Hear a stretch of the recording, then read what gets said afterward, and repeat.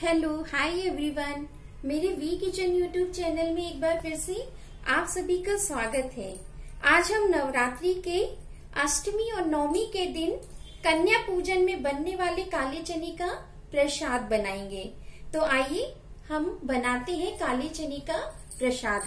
सबसे पहले हमने काले चने का प्रसाद बनाने के लिए ये 150 ग्राम काले चने लिए और इन्हें हमने रात भर भिगाकर सुबह अच्छे से धोकर और एक ग्लास पानी डालकर हमने थोड़ा सा नमक, करीब हाफ़ टी स्पून और इन्हें कुकर में डालकर गैस पे रखकर पका लिया है।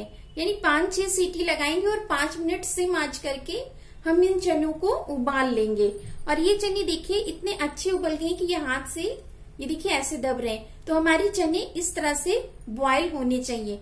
फिर हमने इन चनों को छान लिया। और उसका पानी हमने ये एक अलग बर्तन में निकाल कर रख लिया है। इस पानी को हम फेंकेंगे नहीं, इसी चने में ही यूज़ कर लेंगे।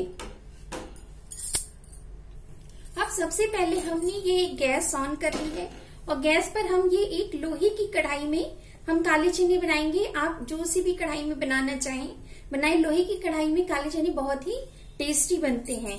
और इसमें हम करीब टू टेबल स्पून ऑयल डाल देंगे। ऑयल इसमें ज़्यादा नहीं लगता है।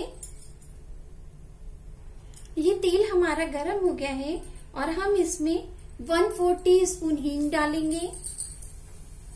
वन फोर्थ टी स्पून साबुत जीरा। वन टी टीस्पून कद्दूकस किया हुआ अदरक।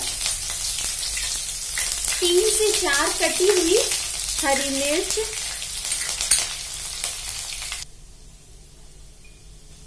ये हरी मिर्च और अदरक भून गया है और अब हम इसमें ये एक छोटा सा टमाटर बारीक बारीक काट कर डाल देंगे। टमाटर ऑप्शनल है। अगर आप डालना चाहते हैं तो डालिए, नहीं तो मत डालिए। और अब हम इसमें कुछ मसाले डालेंगे।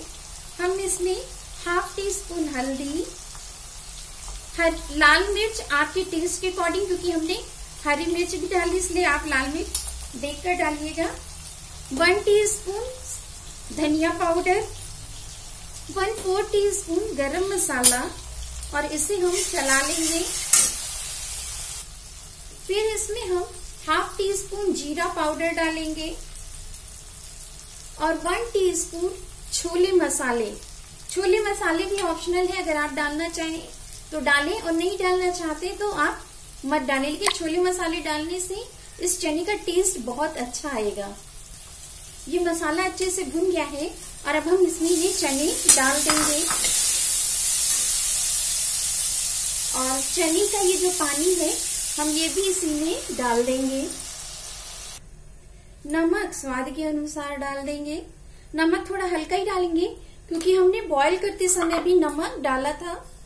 और अब इसे गैस का फ्लेम तेज करके फुल आँच पे और ढककर हम इसे पानी सूखने तक पकाएँगे। अब बीच में हम इसे एक बार खोलकर देख लेंगे। अभी इसमें थोड़ा सा पानी है तो हम इसे थोड़ी देर के लिए और ढक देंगे। फिर हम खोलकर देखेंगे। ये देखिए इसका पानी बिल्कुल सूख गया है और थोड़ा थोड़ा सा तेल ऊपर आ रहा है और अब हम इसे खुला ही थोड़ा भून लेंगे, सुखा लेंगे। तो ये देखिए, ये चने का पानी बिल्कुल सूख गया है, तेल ऊपर आ गया है और अब हम इसमें इसमें अमचूर पाउडर डालेंगे। लेकिन आज हम यहाँ पर अमचूर पाउडर नहीं डालेंगे, बल्कि हमने यहाँ पर ये one teaspoon chaat masala लिया है। अगर आप चाट मसाला नहीं डालना चाहते तो आप अमचूर पाउडर डालिए चना जब हमारा बिल्कुल तैयार हो जाए। तो अब हम इसमें ये डाल देंगे और इसे खूब अच्छे से मिलाकर और हम इसे सर्व कर लेंगे। तो ये लीजिए, ये मसालेदार काले चने का प्रसाद तैयार है और अब हम इसकी गार्निश करेंगे कोरिएंडर जिंजर और ग्रीन चिली से। तो ये लीजिए, काली चने का प्रसाद तैयार है। इस नवरात्रि अष्टमी नवमी के दिन कन्या पूजन में काली चने का प्रसाद आप इस तरह से एक बार बनाइएगा ज़रूर। और हम आशा करते हैं कि इस तरह से आप अगर ये रेसिपी बनाएँगे काली चने का प्रसाद तो आपके परिवार वालों को और दोस्तों को ये चने ज़रूर पसंद आएँगे। और अगर आपको मेरी ये रेसिपी पसंद आए तो आप इसे लाइक करिए और अपने फ्रेंड्स को फेसबुक और व्हाट्सएप पे शेयर ज़रूर करिएगा। और मुझे कमेंट करके भी बताइएगा कि आपको मेरी ये काले चने की रेसिपी कैसी लगी। तो और मेरे चैनल को सब्सक्राइब करना बिल्कुल मत भूलिएगा। और सब्सक्राइब करने के बाद बेल आइकन को ज़रूर दबाइएगा, जिससे कि मेरी आने वाली रेसिपी की नोटिफिकेशन आपको मिल जाए। तो फिर मिलते हैं एक नई रेसिपी के साथ। तब तक के लिए जय माता दी।